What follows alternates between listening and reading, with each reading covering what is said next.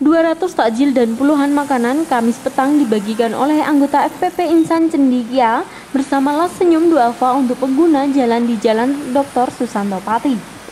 Agenda rutin ini sengaja digelar setiap tahunnya dengan kemasan takjil on the road.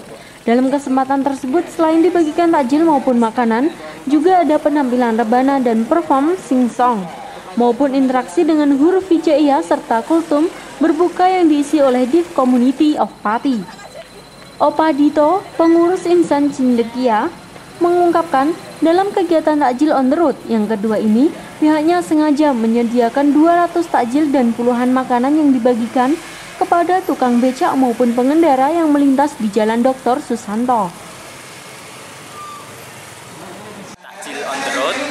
Kemudian dibarengi dengan ngaos yaitu ngaji, ngaji on the street oleh teman-teman odots dan kemudian kita juga akan membagikan takjil untuk eh, bapak-bapak kebersihan kemudian ibu-ibu yang ada di jalanan gitu nanti kita akan muter keliling dan kemudian kita nanti juga akan membagikan di lokasi untuk takjil kepada orang-orang yang atau kendaraan-kendaraan yang lewat di Jalan Dr. Susanto.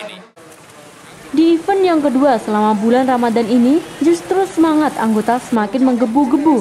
Apalagi pekan ini merupakan sisa-sisa hari di bulan Ramadan, bulan penuh berkah. Tim Liputan Cahaya TV